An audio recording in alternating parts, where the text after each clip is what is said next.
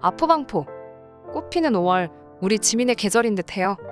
지민이 참여한 분노의 질주가 현재 미국에서도 화제가 되고 있어요.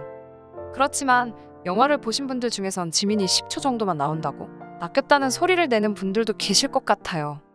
그럼에도 불구하고 이 단 10초 때문에 분노의 질주가 대박이 됐다고 생각해요. 전 세계 아미 팬들을 생각해보면요. 어떤가요? 오늘의 주제는 지민의 Like Crazy에 대한 재미있는 이야기인데요. 방탄소년단 지민이 빌보드 아티스트 100 차트에서 한국 솔로 가수 역대 최장기간 이름을 올렸다고 합니다. 무려 8주 연속 차트 in에 성공한 건데요. 엄청난 저력을 보여주는 거죠. 지민의 Like Crazy는 데뷔와 함께 Digital Song Sales 차트에서 2주 연속 1위에 올랐던 노래로 최근에는 33위로 재진입하였고 월드 Digital Song Sales 차트에서는 지난주 13위에서 이번 주 3위로 역주행했답니다. 그런데 여러분 또 한 가지 놀라운 소식이 있어요. 지민의 빌보드 1위 곡 Like Crazy의 새로운 뮤직비디오가 나왔답니다.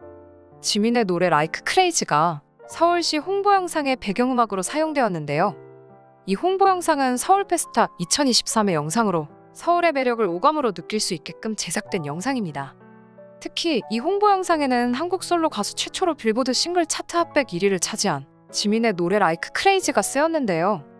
이 노래의 경쾌한 사운드가 서울시 홍보 영상의 매력을 한층 더 끌어올려 마치 한 편의 영화처럼 화려하고 다이내믹한 영상미를 뽐내고 있답니다.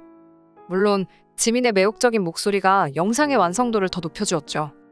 영상을 보시면 아시겠지만 아름다운 서울의 풍경과 천사 같은 지민의 목소리가 더해져 그야말로 꿈 같은 조화를 이루고 있어요. 빌보드 한국인 최초 솔로 핫백 1위 가수 지민이의 노래와 어울리는 최고의 도시 서울이라는 말이 딱 맞는 것 같아요.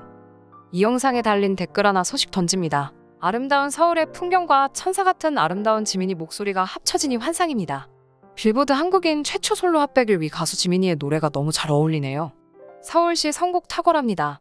선곡장, 울지민님 목소리와 드론쇼가 펼쳐지는 아름다운 밤의 풍경이 너무도 잘 어우러져 있네요.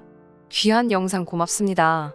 오늘 영상은 뮤비비에서 이렇게 지민의 노래 라이크 크레이지가 빌보드에서의 성과와 함께 새롭게 공개된 서울 페스타 홍보 영상에서 어떤 역할을 했는지에 대해 이야기해 보았어요.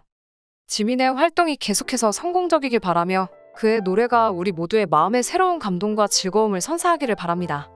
시청자님 구독, 좋아요 잊지 마세요. 감사합니다.